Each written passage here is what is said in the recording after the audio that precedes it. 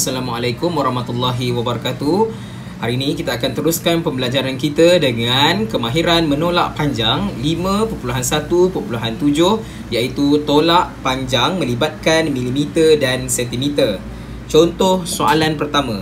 24 cm 5 mm tolak 12 cm 3 mm jawapan sama dengan berapa cm dan berapa milimeter pertama sekali kita akan buat dia punya uh, garisan pembahagi antara sentimeter dan juga milimeter. Okey, kemudian kita akan uh, tuliskan nombor dia mengikut uh, rumah masing-masing lah. Okey, tulis tu biar kemas sikit cantik-cantik. Okey, kemudian letak simbol tolak dan gariskan guna pemaris. Okey, seperti ini eh. Okey, selepas tu kita tolak lah bermula daripada rumah milimeter dulu ya. 5 tolak 3, 2. 4 tolak 2, 2. 2 tolak 1, 1. So, kita habiskan. So, jawapan dia ialah 12 cm 2 mm. Senang saja ya, soalan nombor 1. Okey, kita teruskan pula dengan soalan yang seterusnya, soalan yang kedua. 71 cm 2 mm tolak 47 cm 5 mm. Sama dengan berapa cm dan berapa mm. Okey. Sama juga macam soalan tadi, kita buat pembahagi dia cm dan juga mm dan masukkan nombor dia mengikut uh, rumah masing-masing.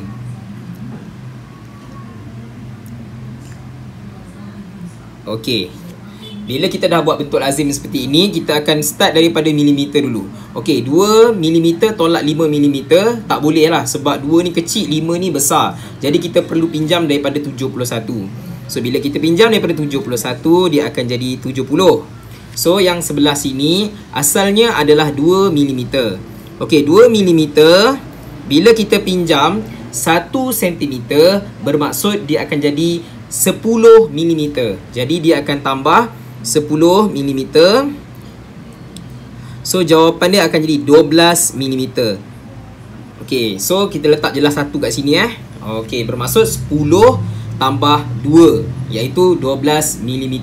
So sekarang ni daripada tadi 2 mm saja, sekarang kita dah boleh tolak sebab kita dah pinjam daripada sentimeter ni 1 cm 1 cm yang kita pinjam tu kita tukar jadi 1 10 mm dan ditambah dengan yang mula-mula ni 2 so 10 tambah 2 dapat 12 ok baru kita tolak macam biasalah.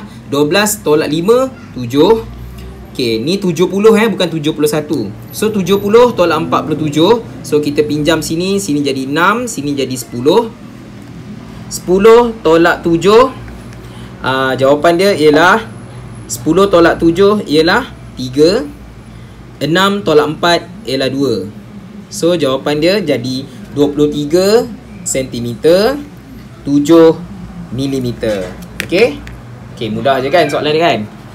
Okay cikgu adjust kejap eh dia punya ni. Okay Seterusnya kita pergi pula dengan soalan yang berikutnya iaitu soalan yang ketiga. Okey, soalan yang ketiga ya. Okey, soalan yang ketiga ialah 32 cm 8 mm tolak 18 cm 5 mm. Okey. Tapi jawapan dia nak dalam milimeter sahaja. Macam tadi dia nak dua jawapan kan? Satu cm, satu lagi uh, dalam milimeter kan? So sekarang ni dia nak satu jawapan saja milimeter. So bermaksud kita kena buat penukaran unit selepas kita dah selesai langkah pertama. Okey, kita buat dulu langkah yang pertama. Okey, tuliskan 32 8 tolak 18 5. Okey, kita tolak seperti biasa.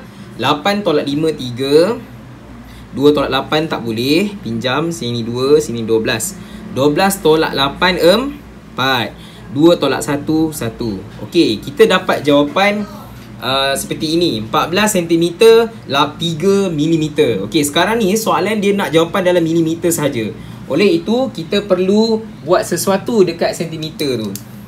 Okey, di mana 14 cm ni kita kena tukar dia jadi milimeter. So, cikgu gunakan pen warna merah.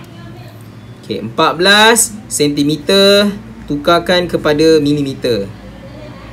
Okay, bermaksud besar kepada kecil. So, darab.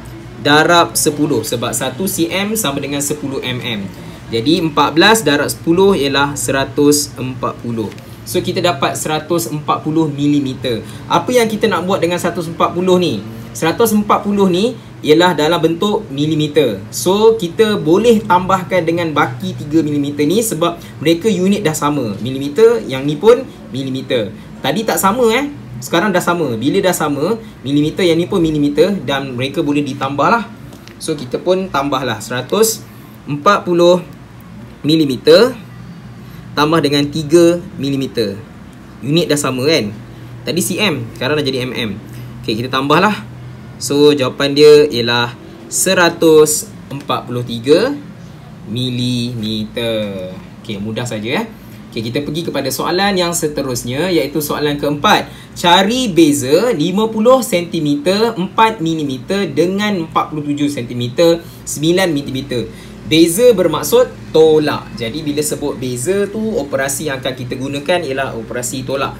Okay, cuma yang ini dia buat dalam bentuk penyataan masalah. Ha, selalu kita tadi kita buat tadi soalan dalam bentuk ayat matematik. So sama je, selesaikan seperti biasa.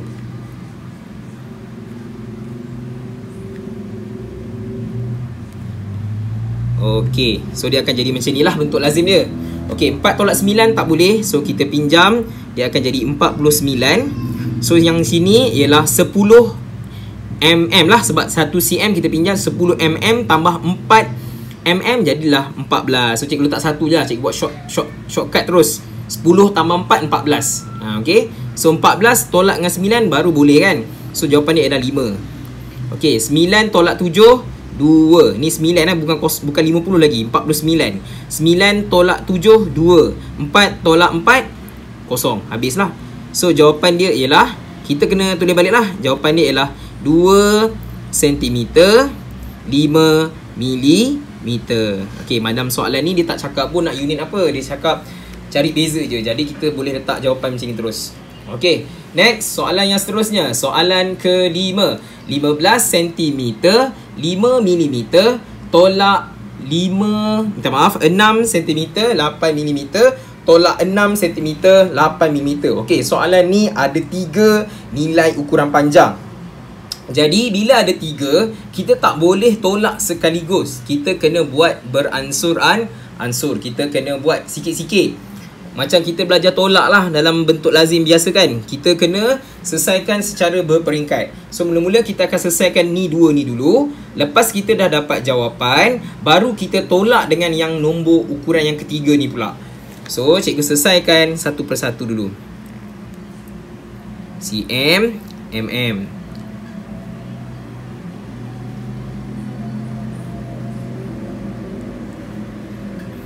Okay, kita selesaikan yang ni dulu ya.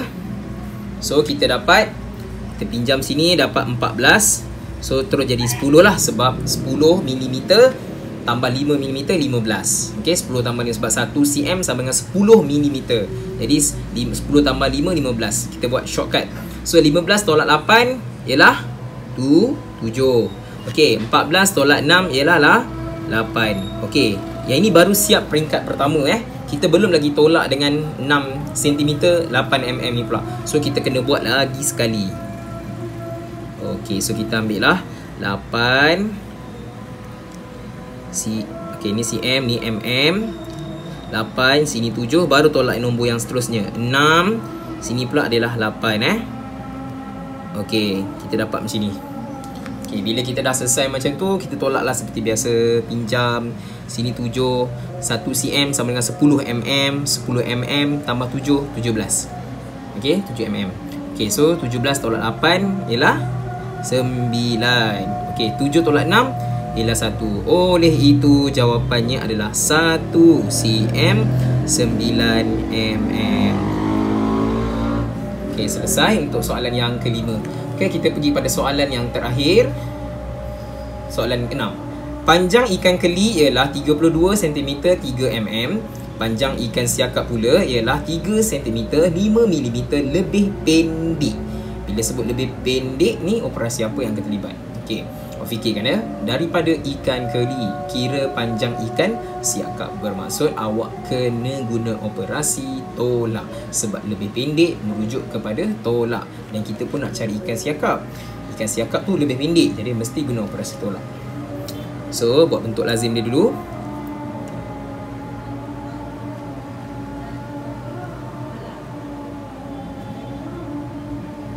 Tolak dengan Okey. So 3 tolak 5 tak boleh. Kita pinjam. Jadi 31. So jadi 10 sebab 10 mm tambah 3 mm akan jadi 13 mm. So 13 tolak 5 ialah 8. 1 tolak 3 tak boleh pinjam. Sini jadi 2, sini jadi 11. 11 tolak 3 ialah 8. Bagus. 2 tolak setiada nombor 2. Oleh itu panjang ikan siakap ialah 28 cm 8 mm. Selesai untuk contoh yang keenam bagi kemahiran tolak panjang melibatkan milimeter dan sentimeter.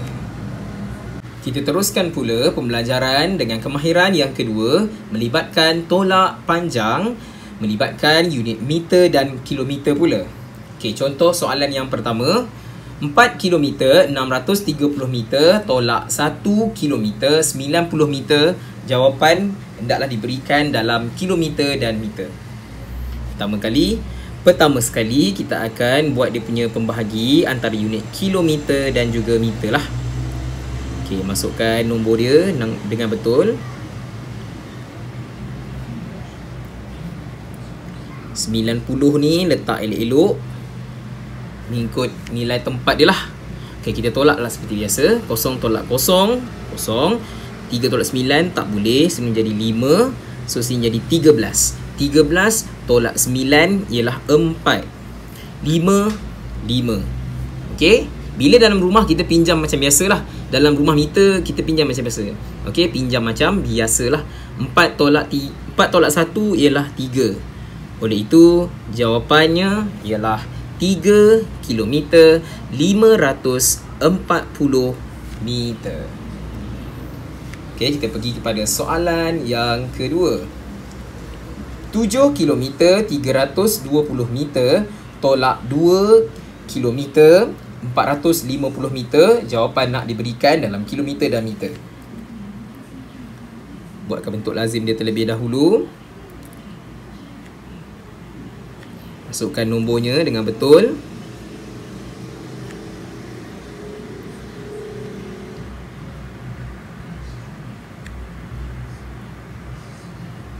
Okey, kita mulakan operasi menolak lah. Okey, untuk kita nak menolak dalam unit melibatkan kilometer dan meter ni, kita akan tengok uh, secara keseluruhan. Di mana kita dapat tengok sini 320 tolak 450 meter. 320 ni kecil, 450 ni besar. Jadi tak boleh, kita kena pinjam. Jadi bila kita pinjam daripada rumah kilometer, kita pernah belajar dulu 1 kilometer sama dengan 1000 meter. Okey, maksudnya bila kita pinjam 1 kilometer daripada rumah kilometer, kita bawa masuk ke rumah meter, dia akan jadi 1000. Jadi 1000 ni tambah dulu dengan 320. Jadi 1000 meter tambah dengan 320 meter. So kita akan dapat 1000 320 meter. Bermaksud cikgu kat soalan ni cikgu perlu letak nombor 1 je kat depan. Ha, dia akan terus jadi 1320 meter. Okey. So sekarang nombor dah jadi besar 1000 lebih. Baru boleh tolak dengan 450. So kita tolaklah. Kosong tolak kosong kosong. 2 tolak 5 tak boleh. Pinjam sini jadi uh, 2 So sini 12 12 tolak 5 ialah 7 12 Kita ambil terus 12 eh 12 tolak 4 ialah 8 Okey Dapatlah 8 Okey 6 Tolak 2 ialah 4 So jawapan akhirnya ialah 4 kilometer 870 meter. Okey. Yang ini cikgu ajar sikit-sikit, cikgu ajar uh, secara pelan-pelan lah. Sebab lepas ni kita akan terus congak je supaya benda ni tak perlu dibuat sebenarnya. Kalau kita dah congak kita terus dapat jawapan iaitu 1320 1000 tambah 320 1320 lah. Okay So kita kena ada kemahiran mencongak kat situ. Kalau kita lemah mencongak kat situ Maknanya kita akan membuang masa kat situ eh. Okay, kita tengok pada soalan yang ketiga pula. Okay, nanti cikgu akan ajar macam mana yang melibatkan kena congak tu. Okay, tengok soalan yang ketiga ialah 5 km 80 meter tolak 2 km 640 meter jawapan nak dalam meter sahaja. Bermaksud kita kena buat dua langkah. Pertama kita kena selesaikan dulu. Lepas tu jawapan dia kita kena tukar semuanya kepada unit meter. Okey tak boleh ada kilometer langsung. Okey so kita selesaikan secara beransur-ansur kilometer dan meter. So kita masukkan rumah 5 dekat 5 km dekat dalam rumah kilometer. 80 tolak dengan 2 km 640 meter. Okey Kita dapat macam ni. So bila kita dapat macam ni Kita dapat tengok dekat sini nombor 80 80 ni kecil Nak tolak dengan 640 Besar nilainya. Jadi kita tak boleh. So kita perlu pinjam.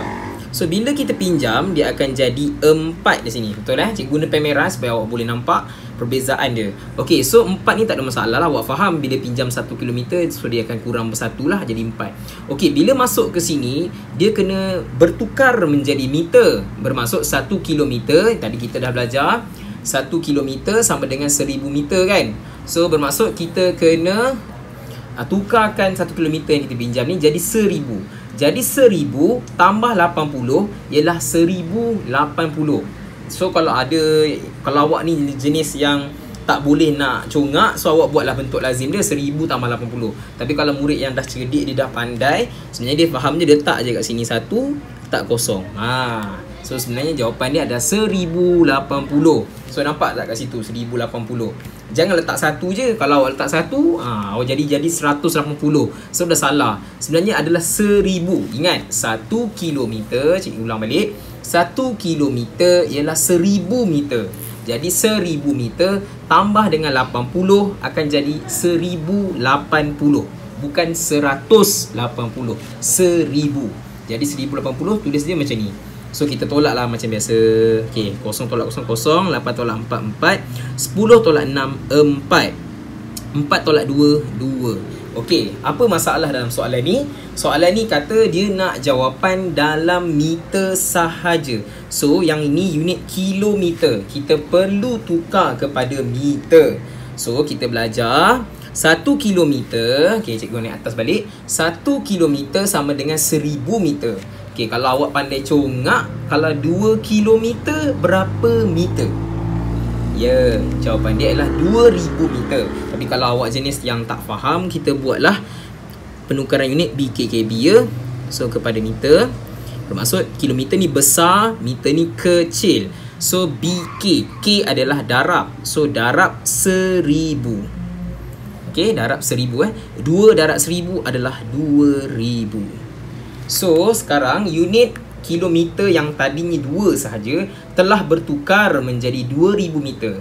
So bila jadi 2000 meter ni kita dah boleh tambahkan dengan 440 ni sebab unitnya dah sama. Yang ni pun meter, yang ni pun meter. So dah boleh tambah. So kita buatlah bentuk lazim dia. 2000 meter tambah dengan 440 meter.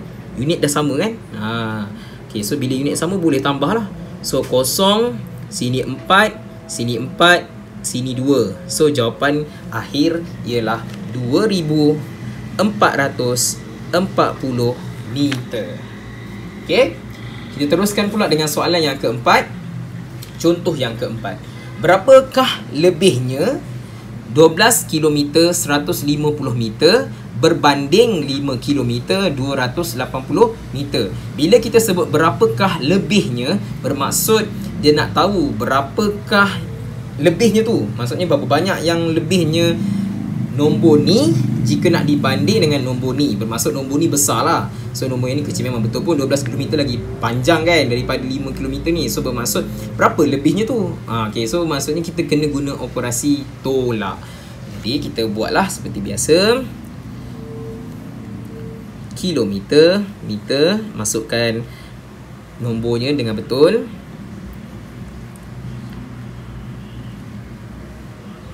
Okey, so dia jadi macam ni. Okey, 150 meter tolak 280 meter macam cikgu cakap tadi tak boleh sebab kecil. 150 ni kecil. Jadi kita pinjam so akan jadi 11. Okey, so 1000 meter yang kita pinjam 1 kilometer tu tambah 150 bermaksud 1150. Cikgu letak satu je congak je. Terus dapat jawapan kat situ 1150 baru kita boleh tolak. Sebab dah jadi besar. Kosong 5 tolak 8 tak boleh. So jadi 10 kat sini sini jadi 15 15 tolak 8 ialah tu 7 10 tolak 2 ialah 8 Okey 11 tolak 5 ialah 6 so jawapannya adalah 6 kilometer 870 meter. So itulah lebihnya. Uh, nak jika nak dibandingkan dengan inilah. Uh, itu maksud dia ya. Okey, soalan yang seterusnya, soalan yang kelima. Soalan kelima ini melibatkan penolakan ukuran panjang sehingga tiga nilai. Okey, bila sebut tiga nilai ni macam cikgu cakap tadi, kita kena selesaikan secara beransuran. Ansur kita selesaikan dahulu yang pertama ni. Lepas kita dah dapat jawapan Kita baru tolakkan dengan nombor yang kedua, ketiga ni pula So kena buat Perlahan-lahan lah Okay beransur-ansur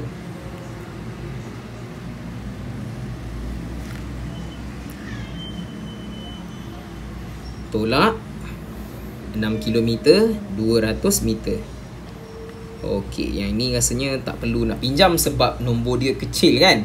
Uh, atas dia besar bawah dia kecil so tak perlu pinjam lah. Kosong tolak kosong kosong satu tolak kosong satu dua tolak dua habis. Jadi 10 meter saja tinggal. 19 tolak 6 ataupun 9 tolak 6 ialah 3 satu satu.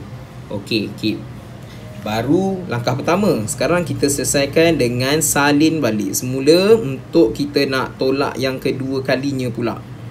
Okey macam ni eh. Tolak dengan nombor yang kedua iaitu 4 km 325 meter. Ha, tengok macam mana cikgu susun nombor tu eh. Tengok 10 tu susun 0, 5, 1, 2. Tu kena betul. Bila salah susun nombor, macam awak salah susun nombor nanti jawapan awak pun akan jadi salah. Okey. Macam ni. Okey, bila dah selesai barulah kita tengok macam mana kita nak tolakkan benda ni ya. Okey. 10 tolak 325 Logiknya memang tak boleh 10 tu kecil So kita perlu pinjam daripada kilometer. So bila kita pinjam daripada kilometer Jadi 12 saja kilometer.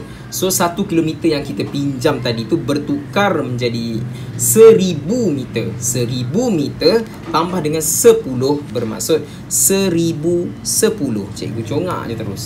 Ha, Ni 1010 Bukan 10-10 1010 Okey, 1000 tambah 10 1010. Ha, baru kita boleh tolak. Okey, pinjam sini. Sorry ya. So sini dapat kosong, sini dapat 10, 10 tolak 5, 5. Kosong tolak 2 tak boleh. Pinjam daripada 10 jadi 9.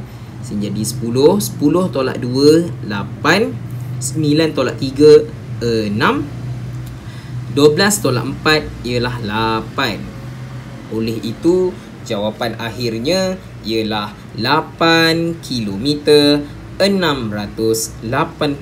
685 meter. Soalan ni dia kena buat secara beransur-ansur, kena buat pelan-pelan, kena buat sabar-sabar baru awak akan dapat jawapan yang betul.